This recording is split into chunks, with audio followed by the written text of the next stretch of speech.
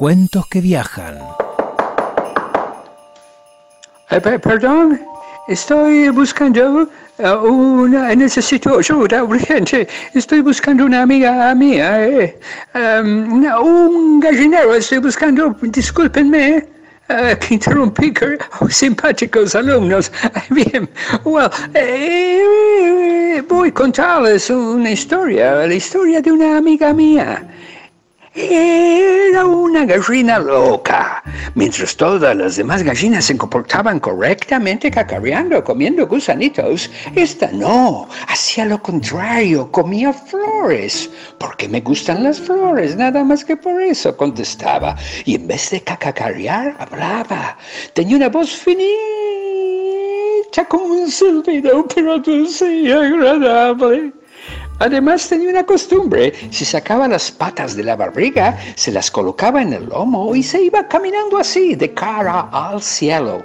Cuando le preguntaban por qué hacía eso, contestaba, porque me gusta caminar cuando miro al cielo. Y así mismo se cambiaba las patas de sitio y se iba corriendo, mirando al cielo. Oh, al principio no molestaba, hasta el dueño del gallinero se divertía observándola, pero un día se preocupó. Fue cuando llegó a ser una gallina adulta y empezó a poner huevos. Es natural, todas las gallinas ponen huevos, pero esta ponía huevos cuadrados.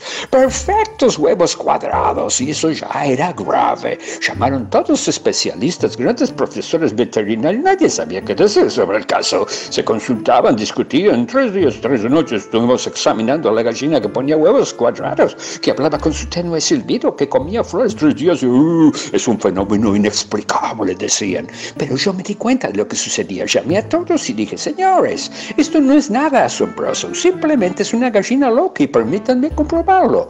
Me acerqué a la gallina muy respetuosamente y le dije, señorita gallina, Josefina, me interrumpió. Mi nombre es Josefina. Oh, I'm so sorry, señorita gallina Josefina. Qué bonito nombre. ¿Quién se la puso? Nadie, me lo puse yo porque me gusta y me mira con simpatía. Señorita gallina Josefina, ¿es verdad que usted es una gallina loca? Me miró asombrada.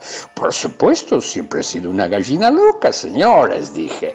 Si la señorita gallina Josefina es una gallina loca, lo normal es que haga locuras. Lo anormal, lo grave, sería que se comportara como el resto de las gallinas.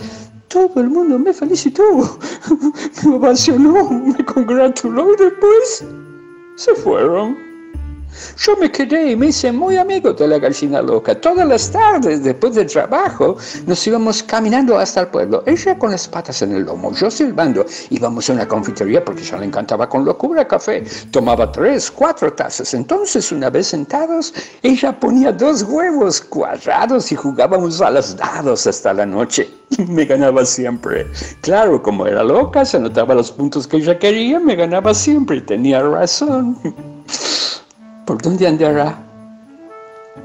Josefina, la gallina loca, mi buena amiga. ¿Por dónde estará cambiándose las patas de sitio para caminar mirando al cielo, hablando con su tenue silbido, comiendo flores? Recuerdo que fue una tarde de lluvia, por eso no pudimos ir hasta el pueblo a tomar café y jugar a los dados. Cuando terminó la lluvia, Josefina miró al gallinero, miró la casa, me miró y recogió unas cuantas flores para alimentarse en el camino. ¿Te vas? Le pregunté. Me voy, me contestó mientras se colocaba las patas en el lomo. Te voy a extrañar, Josefina. Has sido un gran amigo, me respondió. Me estrechó las manos y se fue, caminando de cara al cielo, subiendo, subiendo por el arco iris. La gallina loca de Julio César Silvain. Narrador Roberto Saiz. Dirección General de Cultura y Educación. Gobierno de la Provincia de Buenos Aires.